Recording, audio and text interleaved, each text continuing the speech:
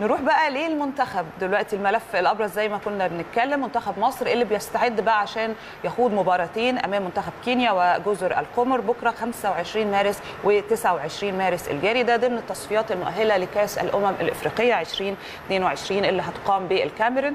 امبارح خليني أقول لحضراتكم وصلت بعثة منتخبنا لمطار نيروبي استعدادا لمواجهة منتخب كينيا وبتأمل جماهير هنا الكرة المصرية في تحقيق المنتخب لنتائج إيجابية خلال المباريات المقبلة لضمان هنا بقى الصعود للبطولة الإفريقية والمنافسة كمان على اللقب اللي ابتعد عن مصر من عام 2010 يعني وقتها كمان لما نجح نجوم الفراعنة كانت حاجة جميلة ومحترمة جدا في حظه البطولة ثلاث مرات على التوالي عشان تكون مصر هنا أكثر منتخب حقق البطولة برصيد سبع بطولات وبفارق بطولتين عن أقرب المنافسين اللي هي الكاميرون.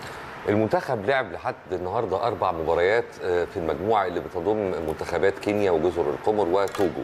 نجح نجوم الفراعنة في حصد ثمان نقاط بعد ما تمكنوا من تحقيق الفوز في مباراتين والتعادل في مباراتين.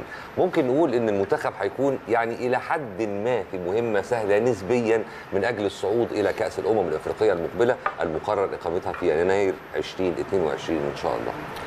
طيب خلونا نروح لصلاح النجم محمد صلاح لاعب المنتخب الوطني وفريق ليفربول الإنجليزي. هو دايما بيحظى باهتمام كبير سواء هنا بنتكلم على مستوى بقى مشاركته في أو مع المنتخب أو مع فريقه الإنجليزي. حرص هنا الحساب الرسمي لفريق كمان ليفربول إن هو ينشر صورة من تدريبات المنتخب الوطني المصري زي ما حضراتكم شايفين وقال الحساب الرسمي لفريق ليفربول على صورة النجم محمد صلاح الملك في تدريبات الفراعنة.